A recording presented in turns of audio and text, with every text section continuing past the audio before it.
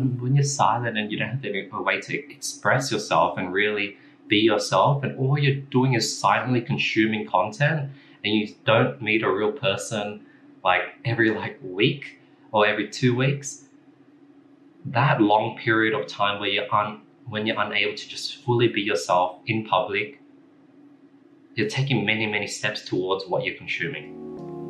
Okay, there's water boiling in the background, so hopefully it's not too loud. But I just wanted to share a realization. Last night I was reading and, and watching some anime as well as BoJack Horseman, this sort of TV show about this depressed sort of horse uh, who's the main character.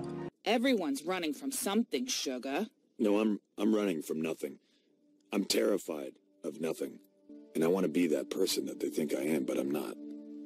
They see a greatness in me and they mistake it for goodness, but I I know there's nothing there. As fast as I run, I can't get away from that.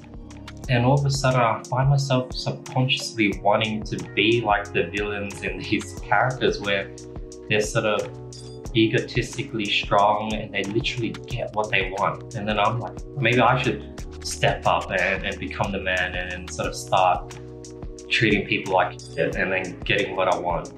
And that's the downside of watching and consuming content. All of a sudden, you're no longer you. All of a sudden, you're starting to want to emulate someone that you've seen.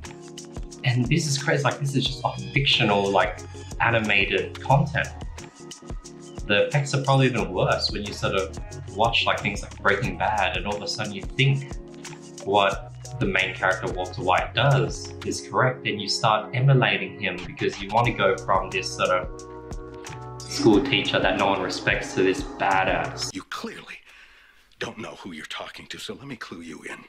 I am not in danger, Skyler. I am the danger. So what I'm gonna do is I'm gonna just try to cut off a lot more content and be more sort of aware that as I watch these things, it's gonna linger in my mind for the next 24 to 48 hours. And in those 24 to 48 hours, I'm not gonna be fully myself.